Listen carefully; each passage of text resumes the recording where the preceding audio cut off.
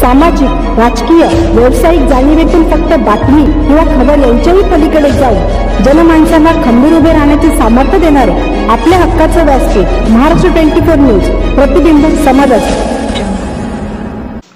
लॉकडाऊनच्या पूर्वसंध्येला चोवीस हजार रुपयाची दारू पकडली. शहरातील आठवडे बाजारपेठेत पेट्रोलिंग करीत असलेले गुन्हे शाखे पथकाने चोवीस हजार रुपयाची दारू पकडली. यावेळी तीन लाख रुपये किमतीची कार जप्त करण्यात आली. पोलिसांच्या या कारवाईमुळे अवैध व्यवसाय जाणवले आहे शहरात करोनाचा प्रादुर्भाव वाढत चाललेला आहे. त्यामुळे सोमवारी सायंकाळी सहा वाजतापासून जिल्ह्यातील खामगावसह पाच तालुक्यात कडक लॉकडाऊन जारी करण्यात आला आहे. त्या अनुषंगाने खामगाव शहर पोलीस स्थानकाचे स्थानिक गुन्हे शोध पथक शहरातील बाजारपेठेत गस्त घालत होते. आठवडी बाजार गस्त घालत असताना या पथकाला एम एच अठ्ठावीस ए बी एकवीस एकोणचाळीस क्रमांकाची कार बाजारात उभी असल्याचे दिसून आले. या कारची तपासणी केली असता कारमध्ये दारूचे बॉक्स आढळून आले. त्यामुळे पोलिसांनी कार ताब्यात घेत शहर पोलीस स्थानकात आणली. या प्रकरणी एका आरोपीला ताब्यात घेतले. कारमधील दहा बॉक्स दारू किंमत चोवीस हजार आणि तीन लाख रुपये किमतीची कार असा एकूण तीन लाख चोवीस हजार रुपयांचा मुद्देमाल